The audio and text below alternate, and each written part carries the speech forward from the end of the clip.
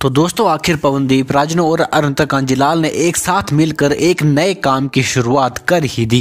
अब आप सबके फेवरेट पवनदीप राजन और अरुणता कांजीलाल ने वो करके दिखा दिया है, जो अब तक शायद किसी भी इंडियन आइडल के कंटेस्टेंट ने नहीं किया था। जी हाँ दोस्तों, आज हम आपके लिए पवनदीप राजन और अरुणता कांजीलाल से जुड़ी एक लेटेस्ट अपडेट और एक बहुत बड़ी खबर लेकर आ गए हैं।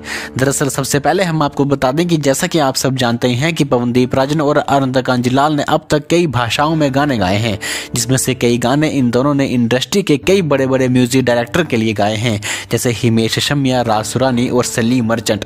लेकिन अब पवनदीप राजन और अनंत कंजराल ने कुछ ऐसा करके दिखा दिया है, जिसकी उम्मीद किसी ने भी नहीं की थी। जी हाँ आप बिल्कुल सही सुन रहे हैं। आखिर इन दोनों ने मिलकर क्या करके दिखा दिया है, पूरी खबर बताएँगे आज हम आपको इस वीडियो में।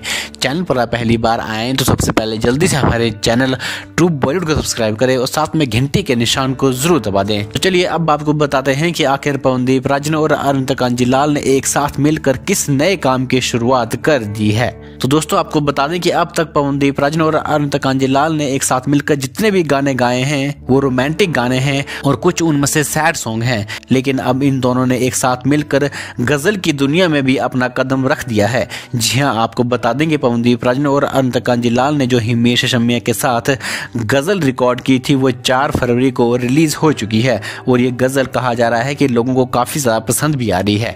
जी हाँ आप बिल्कुल सही सुन रहे हैं। वाल दोस्तों, आपको एक खबर सुनकर क्या कहना है, हमारे कमेंट बॉक्स में ज़रूर लिखें।